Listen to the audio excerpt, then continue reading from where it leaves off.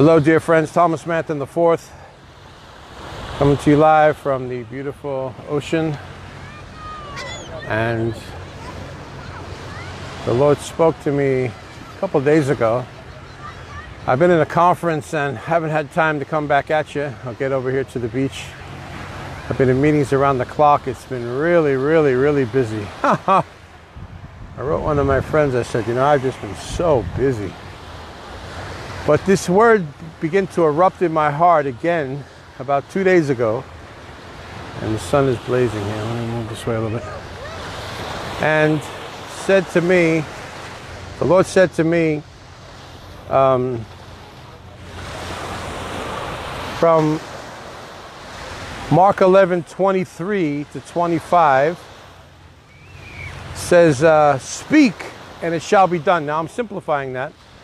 And the 24th verse said, you know, some people say speak to the mountain and you got to say it in the King James and then you muddle up the, the, the you, sometimes people muddle up the quick interpretation of someone. And I like to take a verse when I can, as the Lord leads me, and just say a few of the words of the verse so that you get the real point. Speak in and then in faith, believing, and it will be done. You got that? A corresponding verse to that Mark 11 23 is John 15 7. If you abide in me and my words abide in you, you'll ask what you will. You'll ask for what you want, and it will be done for you. Now, Mark 11 24 said, Whatever things you want, as you're praying, believe you receive them, and you shall have them. So believe, receive, and have. 25th verse said, If you are praying and you have ought against anybody, forgive them. Because if you don't forgive, your prayers are hindered, okay? Let, Mark 11 22 said, Have the God kind of faith. God spoke and then it was, right? Let there be light and there was light.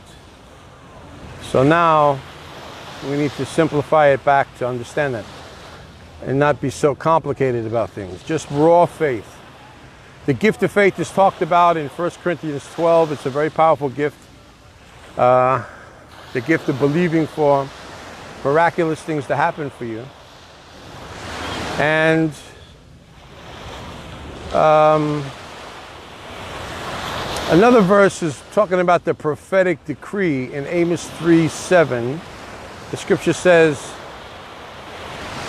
God will do nothing unless he first reveals his secret to his servant the prophet, and then when it, the prophet speaks, then things will begin to happen. And then the next verse says, Amos 3, verse 8 says, uh, A lion has roared in the city, who will not fear? In other words, when the lion comes, everybody takes notice because the lion roars, and that's like the call to attention to move, get out of the way, or show some respect or uh, exit the scene because the lion is announcing his uh, king of the jungle status. and the eighth verse there said, second part of the eighth verse, a lion has roared in the city, who will not fear? The Lord, here it is, the Lord has spoken, who can then but prophesy?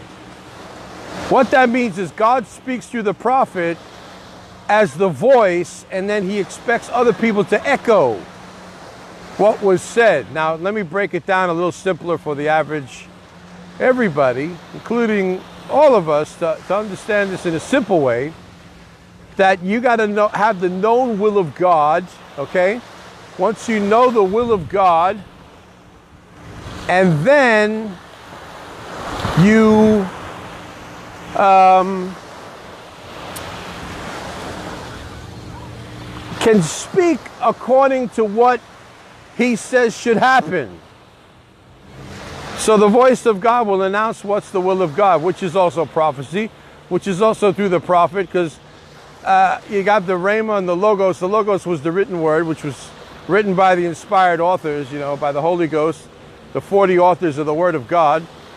And then you have uh, Rhema, which is like an inspired word, you know, and then you have prophecy, which is the spoken word based, you know, on the mind of God, not reading a scripture aloud, not saying it from memory, but hearing the voice of God to say and announce something specific as the prophet and declare it, and then everybody should begin to echo that. Now, here's the power of this thing in, in, in summation of, of the whole thing is speech.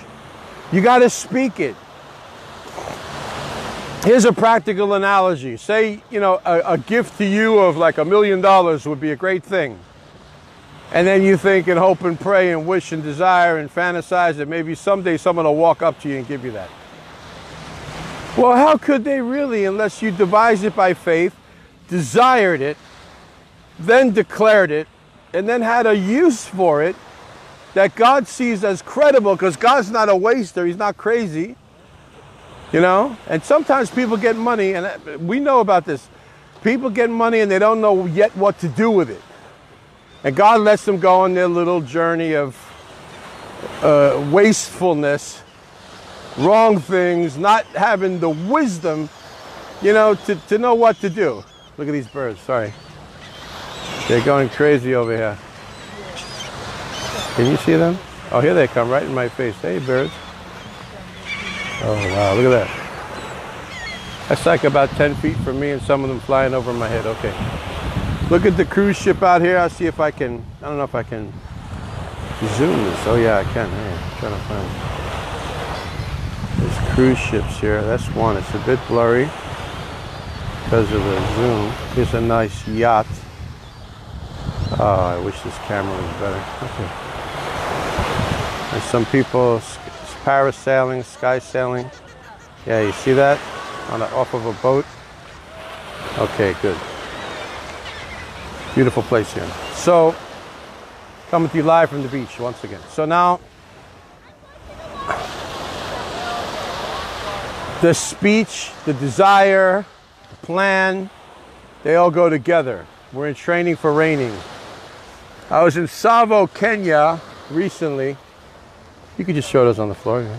I, I, was in Tsavo, Kenya, east, east, uh, east of Nairobi, about four hours going down toward the coast, Mombasa. It's where those beautiful baobab trees grow, very strange trees. You can look them up. B A O B O B trees. They're very unique. They only grow in that part of the world, and I just was enamored looking at them as we were driving around. And I ran into a big bull elephant. Had, have, we have a video. My editor has said he's finished that, and the clips of the best, the best of it, and I'm going to put that online. You're going to get to see me talking to an elephant as he was charging us, and I made him stop charging by the power of God. It's like Daniel in the lion's den. made the lions go to sleep like kitty cats. Probably used one of them for a pillow. That's the power of God. Meshach, Shadrach, and Abednego jumped in the fire. It didn't burn. And it was made seven times hotter to the point that those that were near the entrance where the flames were burnt alive. But then they came and throw those three guys. They threw those three guys in there. They didn't burn. That's the of God. Then we had giraffes walking around, antelopes. My God, monkeys, crocodiles in the water, ostriches running around. What else? All kinds of gazelles and zebras and just really cool, cool. What a place. While I was there, the Lord spoke to me this word. And I'm making a book. He told me to make a book out of this. And it'll be coming out soon. It's been, uh, it's been typed, but I have to finish the final edit and then get it with the editors and the design and layout. It'll, be, it'll come out. And I'm trying to wrestle with the title, but it has to do with going up because you're growing up. Grow up, go up. Grow up, go up. Grow up, go up. So there's levels in this thing. There's levels in this walk. You know, and you have to, you have to, uh, you have to exercise your faith. A dear sister in the Lord who's a prophetess, and another uh, business couple that are partners of the ministry here, where I am. We're having a great time. We just had lunch, and I was asked. Uh, this question.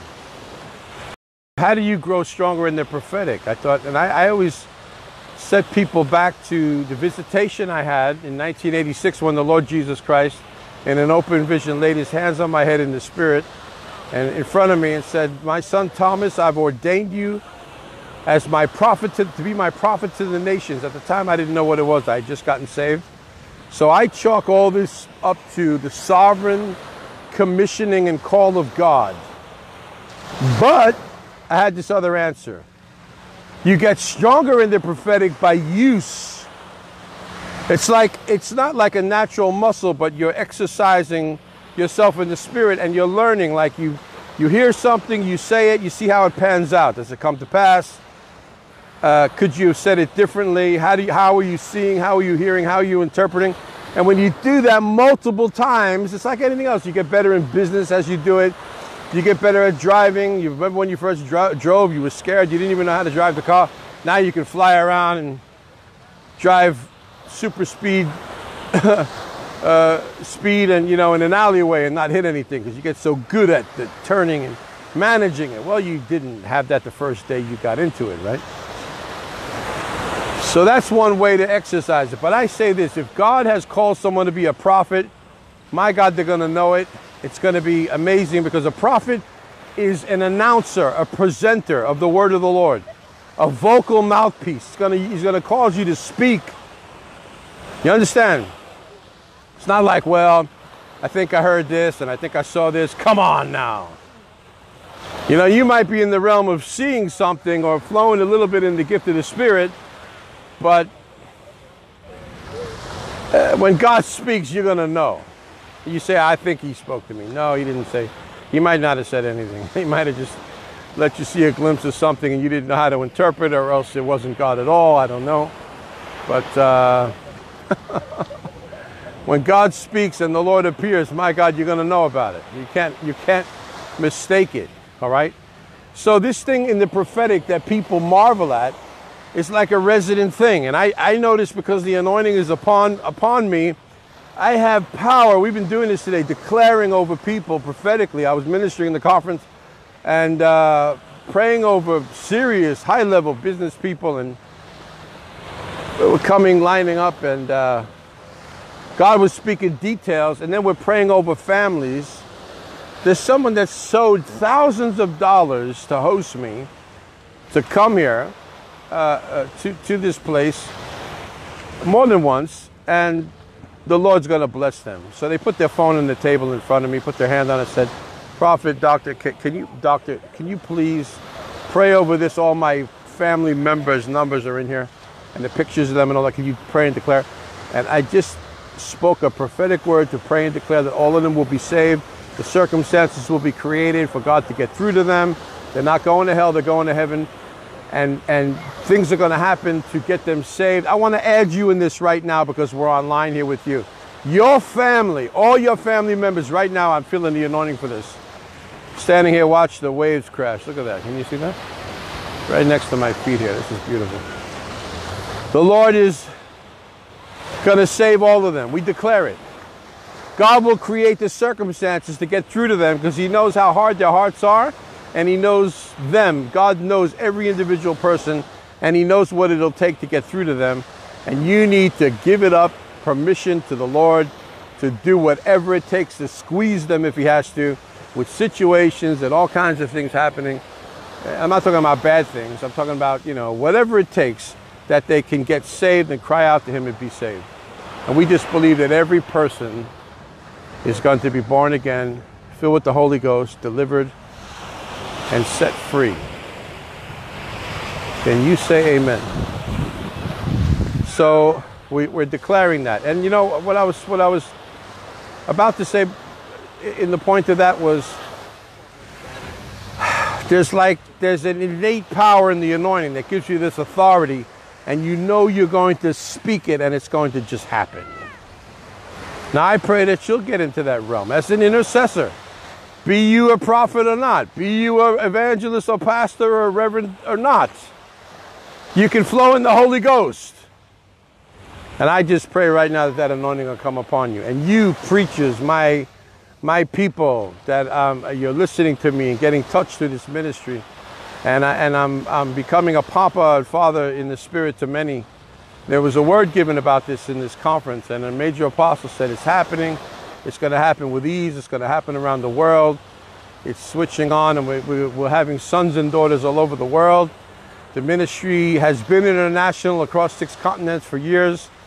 And I've been to 32 countries now on all six continents of the world, preaching revivals, crusades, media appearances, all of it. And all kinds of conferences, churches, revivals, stadiums, outdoor meetings, indoor meetings. And and it's been great and God's been glorified and we've already touched, you know, multitudes of people. I guess you can count it to the millions, especially in one nation of Kenya. 50 million people there in the population of the country have been affected by the prophecies God's using me to speak because things have changed in the country and what we said. To the last person, to the end of the continent, the end of that country, rather north, south, east, or west, doesn't have to know my name, but the power of God's been released through this ministry to touch them, and they're benefiting by it. They're benefiting greatly by, you know, the anointing that God's placed upon my life and the way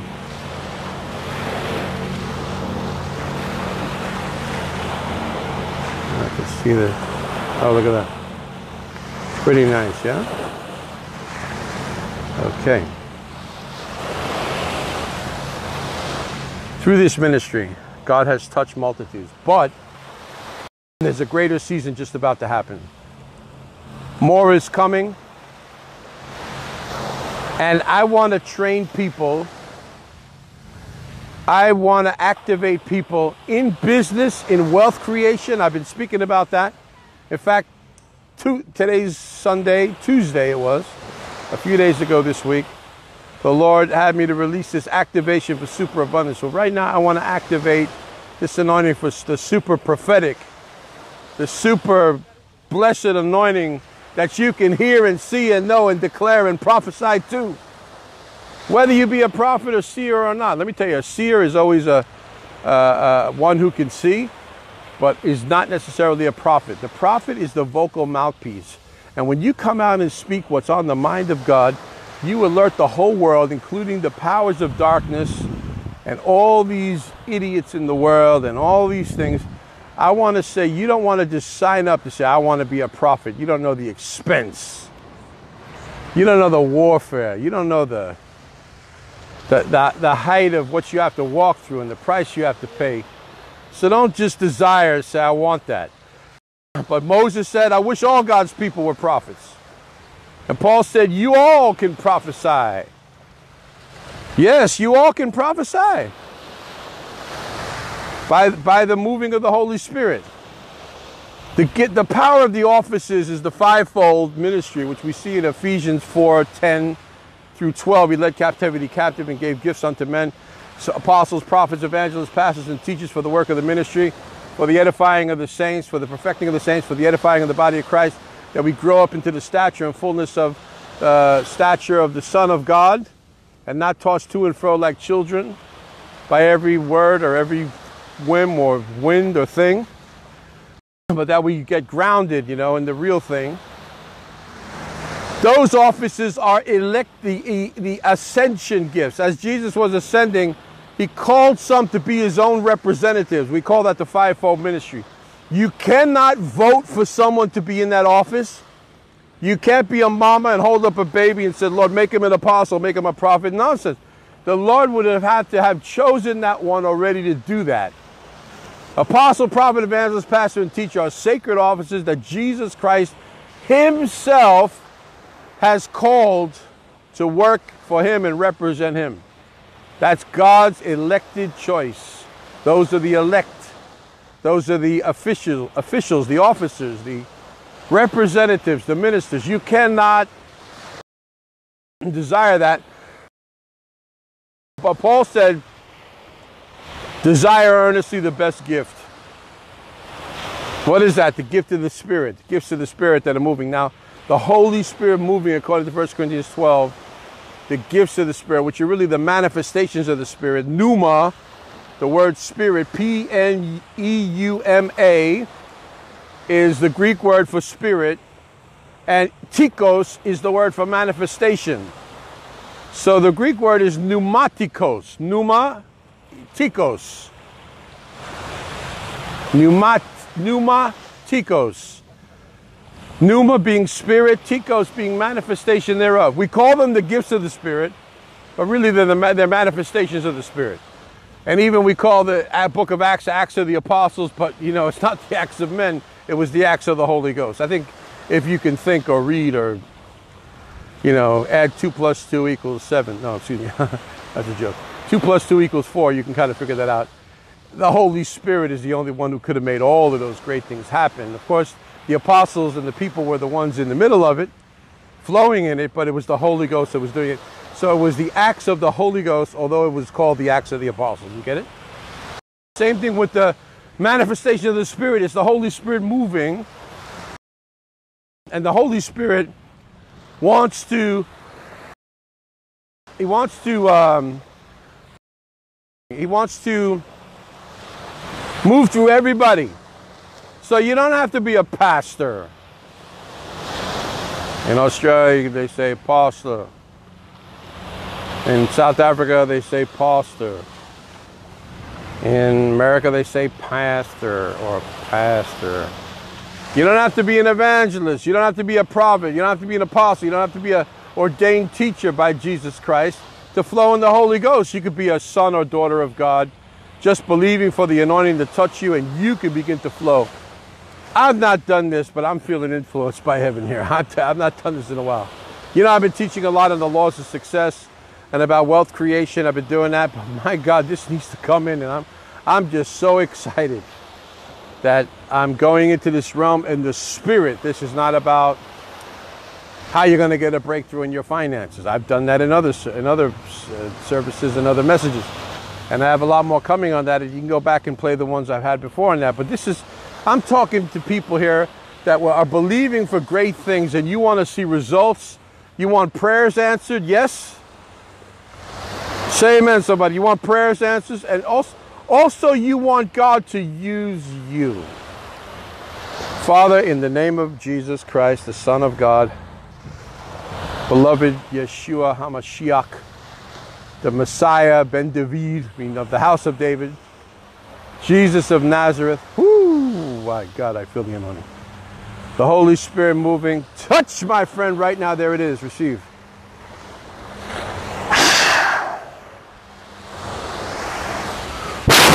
receive the wind of the breath of the Holy Ghost.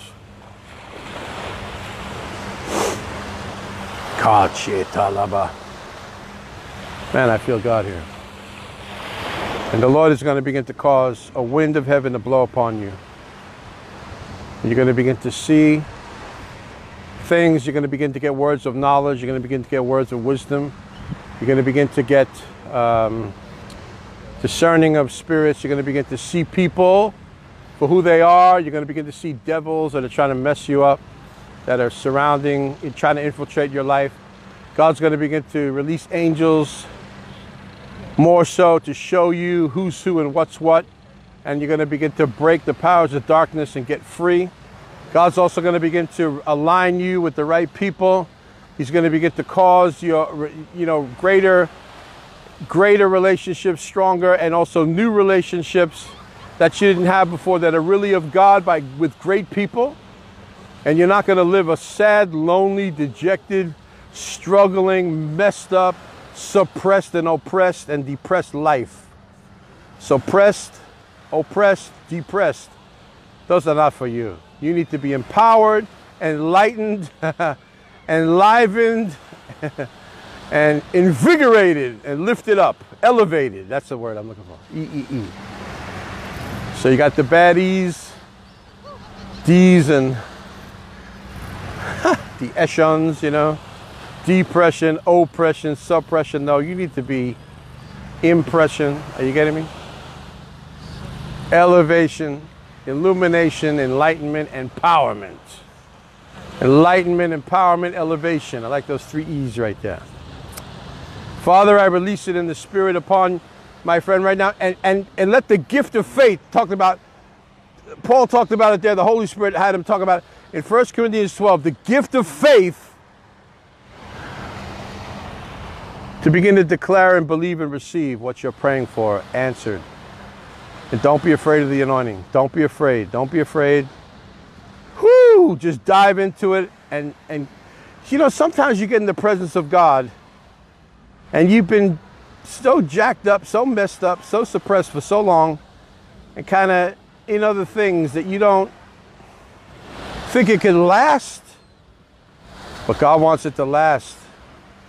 He wants you to stay there all the time as much as you can. This morning I woke up early and sometimes you, you my schedule is so heavy you can feel a little tired. Not this morning. I was I was ready to go to the house of God in the morning. I had to pack. I had to finish things. I'm traveling uh, later on today. I'm in another service in a, in a few more in a few moments, heading over there, and then I'm going right to the airport. You know, but but I just walked straight up, and and the minute my feet hit the floor off the side of the bed, I started praying, and I felt, wow, this is great. Now, now you may you may be a fronter, you know what I mean? You think you you act to everybody like you're like that every day. Come on. Even God's greatest servants sometimes have a struggle with living this every day, seven days a week. I'm, I know what I'm talking about. You preachers preach by a gift. When you see them in the pulpit, you see the best part of them. The anointing comes alive in them. It doesn't mean that they don't have anything else going on in their life that's hard. Let's be real about it. You see your pastor, your prophet, me, you think, oh, every day, 24 7, 365, they're just on top of the ocean. Here's the ocean. Floating around, flying on the cloud. Let me show you some clouds. There, the clouds up there. Look at that. Here's the sun. So beautiful. Just up there, you know, up there. You see that? you think that it's always. No, you know, it, it can be, but there are times. I feel the anointing. My God. Oh, I'm, I'm, I'm on fire here. There's some, there's some weeds on the thing. I wonder, there's so much fire on me. I wonder if these are going to catch fire. Look at this stuff here. You see that seaweed there? It might be a little wet, but I feel so much fire, even this can get lit up. Woo! Hallelujah. So, so here's what I'm trying to tell you. You need to make a note who you're who you're with when it happens, how it happens, the environment, the place, the time, and you need to push yourself to be doing it as much as possible.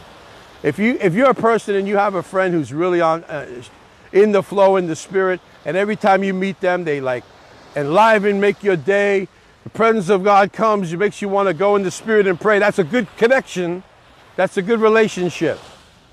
Then you meet someone else and then they're all sad and then you start feeling like, uh, next thing you know, you were, you were on fire an hour ago or earlier in the day, but after being with them, my God, you feel like you want to just run away. Well, run away permanently and don't be, don't be connected with people like that. Wet blankets. Someone said there's a great man of wisdom said there's the nature of a king and the nature of a fool in every man. Whatever button you push is what'll come out. You know? To you men, the Bible talks about a whorish woman, you know, will mess a man up. Talked about the sensuous woman, not sensual in a good way, but in a wrong way. And you don't need to be in connection with that because it might seem nice for a minute, but then you're gonna you're gonna suffer by what you do in that situation. So don't do it. Simple, right? But so you want to stay in the atmosphere of the glory. You want to stay where God is moving. And you, some of you single people, you know, you need to get married soon. And then you could rock the house and not be sinful doing it because the marriage bed is undefiled, right? I marvel at men that look like they have a good relationship with their wife, they're powerful in the spirit, they're getting all their needs met. There's food to eat, there's love to be made, so to speak, you know what I mean? Not me saying too much. There, you can travel together, you can do things, you can, you got that base covered, you know, you want to do that. But you want to be equally yoked with someone that also uh, is in the fire of God too. I believe in that. My God, can you imagine me, the prophet of God, being with some dull, boring woman? Jesus in heaven, I might as well stay single. You, you got, you know, you got to have, you got to be plugged into the fire. I want a woman who speaks in tongues while she's cooking, man. I want to say, I want to hear some worship going on when I'm trying to sleep. I wouldn't mind that. I tell you, go to the other room and pray. I'm trying to sleep. No, I, I'd wake up and say, let's let's sing us, let's worship together in Jesus' name. You know, because you know what that does? It keeps the presence of God alive in you. You notice it also comes through here. It also comes through speaking. So this is the gateway. What you hear, what you see, and what you speak. What you speak, what you see, and what you hear. What you're seeing, what you're hearing, what you're speaking. That guides a man's life, a woman's life. So I got to go, but, well, I don't have to. I can keep going, but I just feel I wanted to share that. I'll do a part two to this. I mean, not from this scene. I'll come at you from another place, another city. But this is so beautiful, isn't it? Wow, I love it. Father, thank you for making this moment. And I'll be back here. It's not like, uh, don't cry for me, Argentina. I'm coming back. I met apostle. I met an apostle from Argentina. He wants me to come to Buenos Aires. I'm going to come. In Jesus' name. The Latin world is opening to us. Wow. The African world is already open. Europe's open. The Latin countries opening to us. Phenomenal. I'm so excited. So I love you. I, I trust you'll share this with everybody and sow this seed into their life of the word that they can also be activated by this. Father, I pray this activation of the gifts of the Spirit to come alive in my friend and precious partner of the ministry. If you're not a partner yet, become a partner. Forgive us if we haven't had everything so available online. It takes a lot of work, but I'm going to be making my own television channel, my own portal, my own network, my own product thing that people can tap and get all these messages. We're working on it. We're working on it. And I'm writing about 10 new books right now simultaneously. They'll be coming out of the chutes, out of the oven. Hot, fresh bread from heaven. They'll be coming out one by one by one by one. So I look forward to uh, sharing those with you. And but please, please do connect with us. We help so many people around the world in so many different ways. You can partner with me on thomasmanton.com.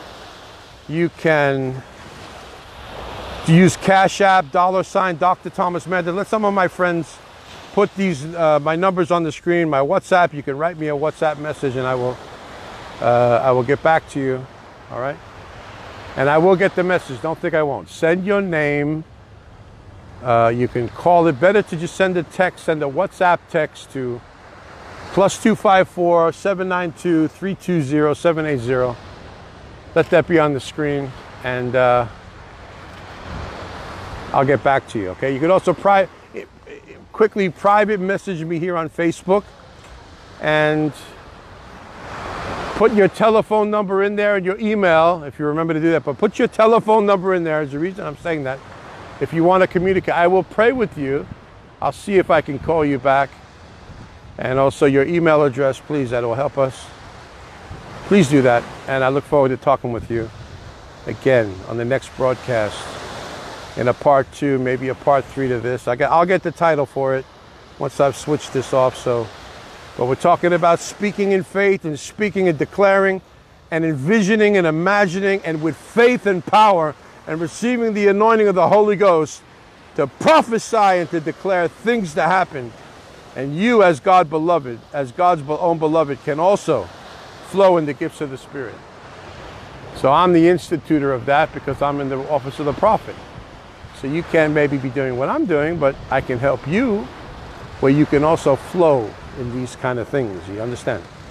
So be activated now in Jesus' name, and I will talk to you later on the next broadcast. Love you. Live from the ocean side. Love you so much. Talk to you again real soon. In Jesus' name. And you pray for me. And people, you know, the, I'm reminded the Lord spoke to me that God is talking to someone to give me property, huge sums of off, you know, things that are like a percentage of a business deal or inheritance or something vehicles, land, property. I don't know. God is talking to somebody. I, I heard that a few weeks back, and I've just been saying it.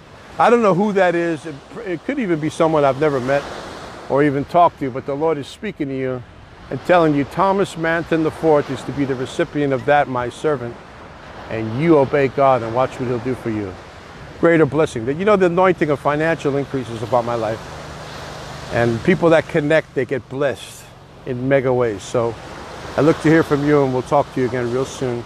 Start speaking, start praying, start declaring, and let God begin to develop even the flow of the gifts of the Spirit in you. I believe for Him to do it in Jesus' name, and it's going to work. Watch.